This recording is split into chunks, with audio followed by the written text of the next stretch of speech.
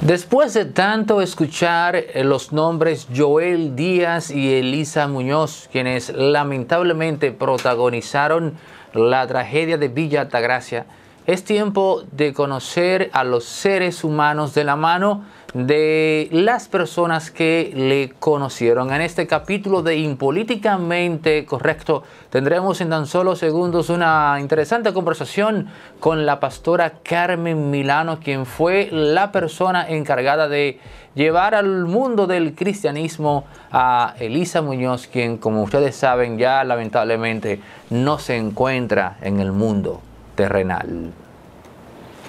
Pastora, muchas gracias por compartir con nosotros desde Italia. Es importante ese datito. La pastora se encuentra ahora mismo en Italia y está compartiendo con nosotros a través de Zoom. Pastora, cuénteme brevemente cómo conoce usted a Elisa Muñoz, la joven eh, pareja esposa de Joel Díaz, y en qué momento o hace qué tanto ella ya venía siendo cristiana. Muy buenas tardes. Eh, como pastora conocí a Elisa Muñoz eh, unos en, el, en, el, año 1214. Eh, nos encontramos en un salón de belleza y desde ese día, desde ese momento, este, compartimos y Elisa comenzó a frecuentarnos, a frecuentar la iglesia, a visitarnos y a los tres días de haber estado en la iglesia, el Señor tocó su corazón. Pero eso fue en Italia o República Dominicana. En Italia, Milano, a Milán. En el año 2014 en Milano. Sí.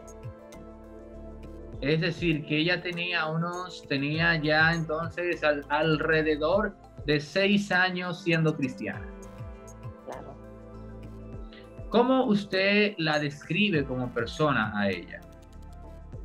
Una joven muy maravillosa y de admirar porque este viendo que fue tan joven ella muy atenta y, vi la vida progresiva ante todo eso que su vida cristiana fue una vida progresiva. Elisa eh, eh, este, su conversión fue este, inmediatamente una transformación un cambio como como suele ser en todo cristiano y eh, en ese mismo año nosotros la bautizamos y a los dos años ya Elisa estaba eh, ejerciendo un ministerio con los jóvenes en la iglesia. ¿Por qué? Porque Dios este, regenera, cambia, transforma eh, el hombre y Elisa tuvo este, un llamado para trabajar en la obra del Señor aquí y lo, y lo hizo muy bien, lo ejerció muy bien damos testimonio los jóvenes y toda la congregación porque no tenemos que decir nada, eh, nada contrario, todo el contrario, sino es que eh, en realidad la joven dio frutos. ¿Cómo se da el paso de ella llegar o volver más bien a República Dominicana? O sea, ¿por qué Elisa vuelve a República Dominicana y no se queda en Italia? Elisa, como toda joven soñadora y pidiendo siempre la dirección del Señor, me comenta y me dice, pastora, estamos orando. Eh, estoy orando porque siento el llamado y siento de establecerme en República Dominicana y el sueño también de ella era de ir a vivir con su madre, que su madre le estaba haciendo viajes para Estados Unidos. Es decir, que ella va o vuelve a República Dominicana porque siente en términos espirituales el llamado de Dios. Esto para personas como nosotros, en el caso mío que soy agnóstico, confieso que es eh, muy difícil procesar este tipo de cosas, pero sé que hay millones de personas en el mundo que actúan porque sienten que algo superior a ellos les dicta que tienen que dar eh, tal o cual paso. Pero una preguntita, usted como ser humano, usted como cristiano cristiana, no puede evitar sentir que, que ese poder superior que hace que ella abandone Italia y vuelva a República Dominicana para culminar su vida de una forma tan lamentable, yo diría que visto desde fuera, es casi inevitable sentir como que ese poder superior te ha traicionado y te ha llevado a una trampa o una emboscada. es que Dios obra por sendero misterioso y Dios hace un llamado al hombre, ¿no? Y, es inevitable realmente, porque el llamado de Dios eh, te persigue y, no te deja eh, eh, estar tranquilo. Y como decimos, ese Dios es soberano y Él permite y hace como Él quiere.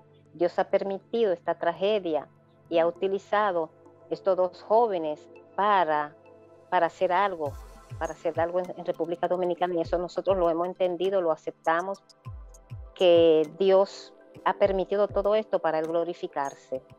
Eh, eh, Pastora Carmen, yo no voy a caer aquí en un ejercicio estéril en el debate de la teodicea, de por qué si Dios es tan bueno permite que ocurran cosas malas. Debo, digamos, manejarme en el terreno de caramba, de que ese tipo de cosas quizás de repente el ser humano nunca tenga respuestas para ellas. Pero otra cosa, ¿qué tiempo tenía ella en República Dominicana justo antes del desenlace, digamos, que, que dio al traste con, con, lo que hoy día todos estamos lamentando? Sí, un promedio de algo casi cerca de dos años, menos de dos años. Tenía menos de dos años en República Dominicana. ¿Y cómo era la comunicación entre, entre usted y ella cuando ella, o después de ella, de, decidir volver a nuestro país? Bueno, ella me comunicó que eh, había encontrado un lugar donde congregarse y que estaba ejercitando, trabajando por los niños.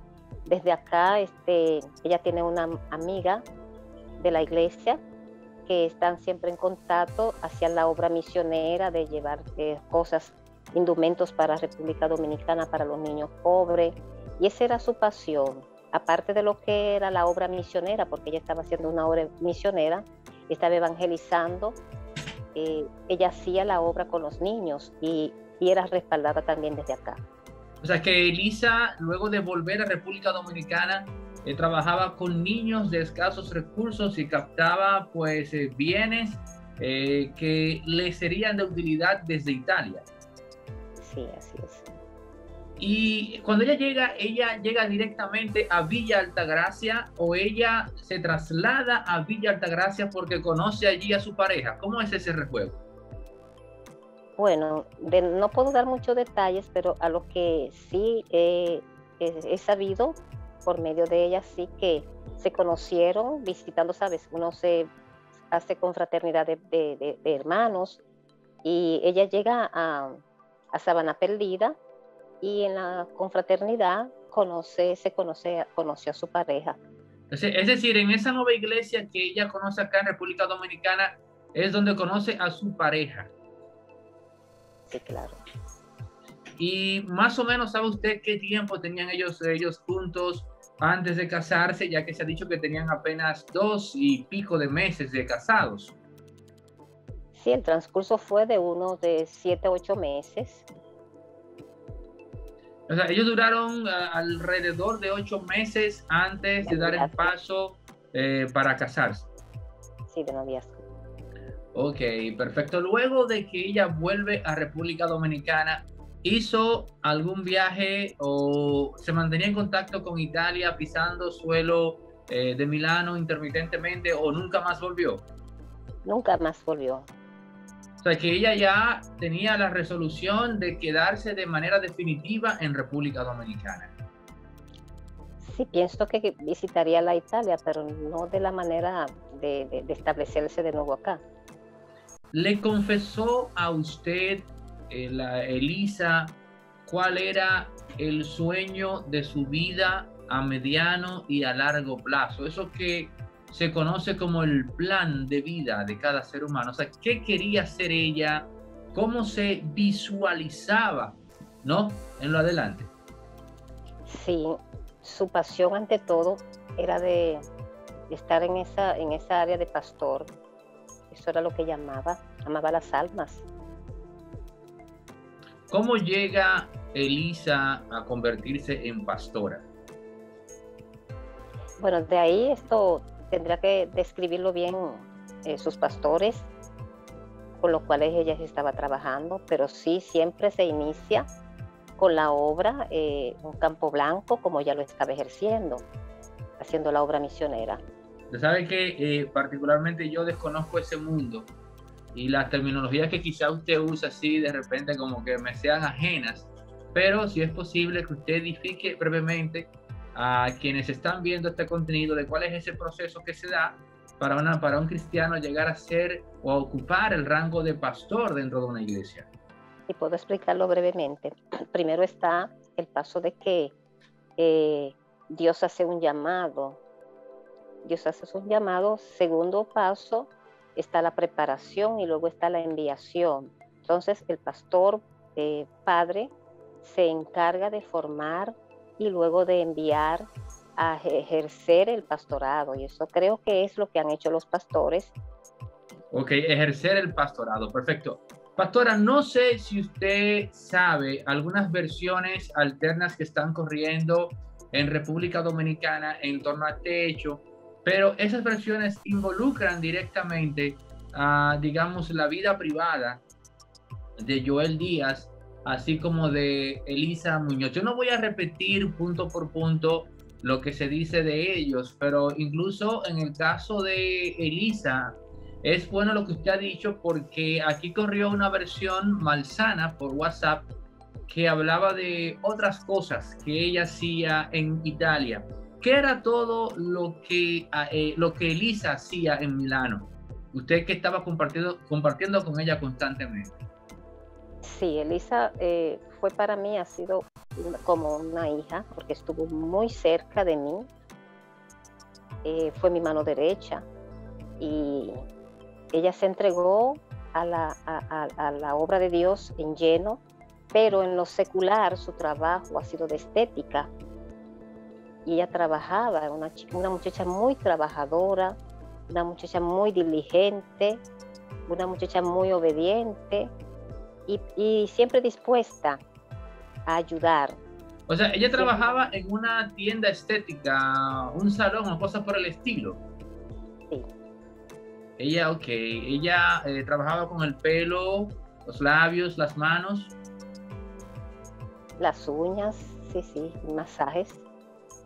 Ok, eso, eso es muy, muy importante, aunque es algo cotidiano, pero es interesante recalcarlo porque esto, tomando en cuenta que usted, que ella era su mano derecha, esto tumba por el suelo eh, esa versión eh, malsana que corrió, que mucha gente la, digamos, se la endilgó a elementos internos en la Policía Nacional para evitar o para más bien desligar a la institución como tal de este hecho. En el caso de Joel Díaz, ella nunca le contó nada de él, es decir, cómo era Joel, eh, digamos, como pareja, o más bien como, como pastor, incluso algo que nos pueda dar un indicio a nosotros de conocer a los seres humanos más allá de los nombres que tanto se han repetido involucrado en este, en este asunto, en este trágico asunto.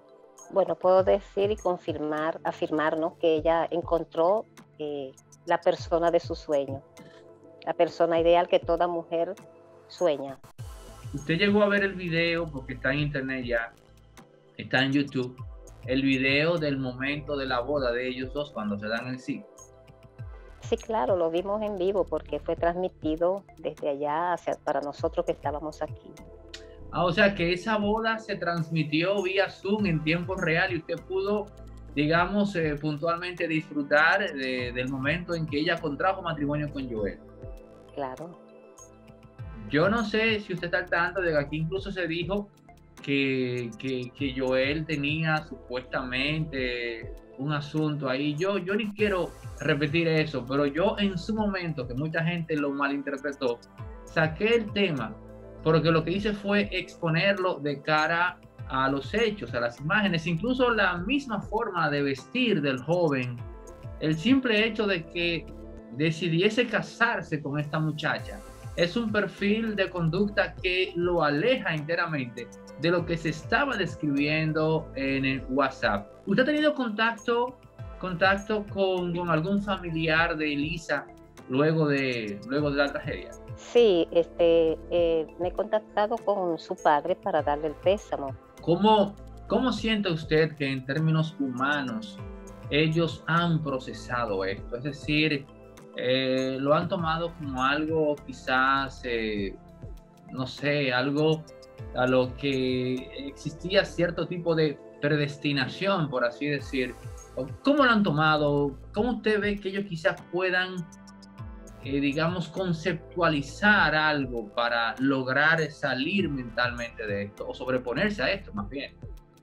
Bueno, sí, claro, uno como cristiano, porque su padre es un cristiano también de la iglesia evangélica, eh, aceptamos y acepta la voluntad permisiva de Dios, pero lo humano este, se siente, esto ha sido demasiado drástico, esto ha sido algo demasiado doloroso y de una manera muy fea, porque el trato que se le dio a una joven mujer con un sueño y haciendo algo para bien de la sociedad y encontrarse en una situación del género, esto es algo que en verdad nosotros este, apelamos a la justicia de Dios, pero también la justicia de la tierra porque han sido establecidas por Dios también.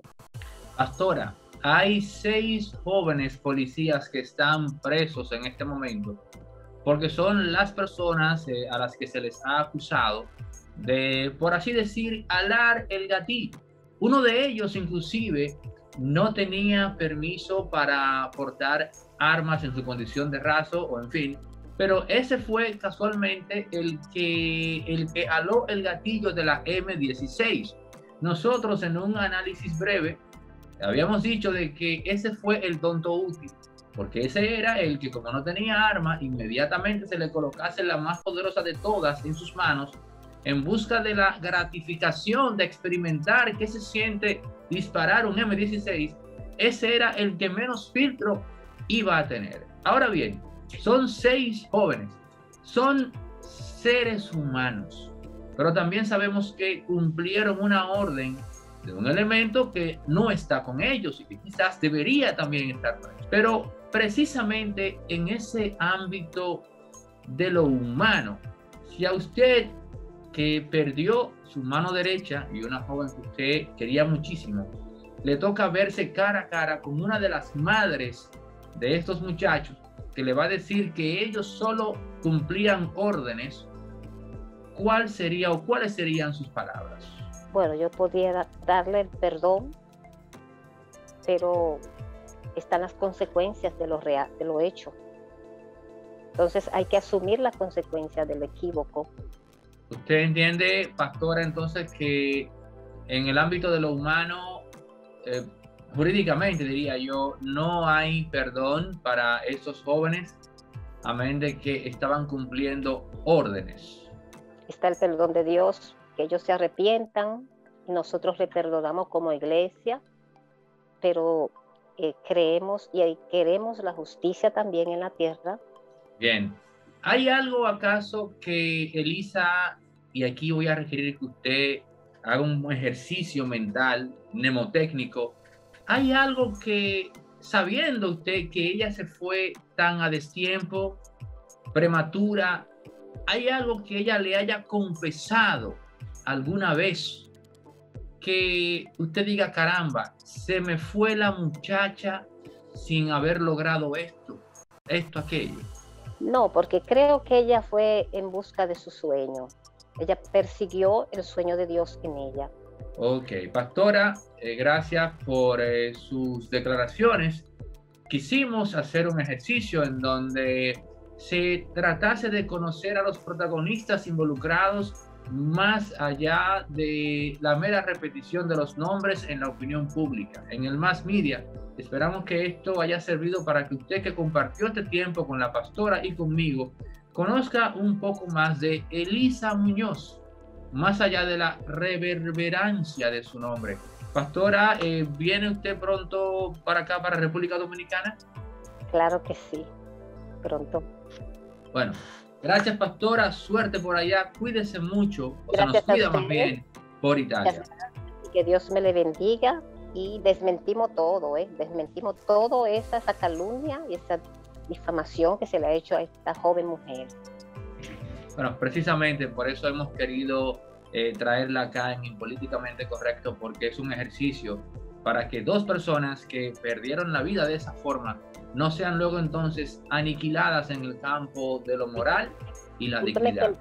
discúlpeme que agrego algo. ¿Quién más que su madre espiritual que vio nacer esta joven mujer en, en el cristianismo puede dar testimonio de ella?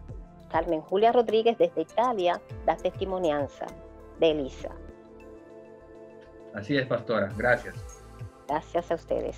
Buenas tardes.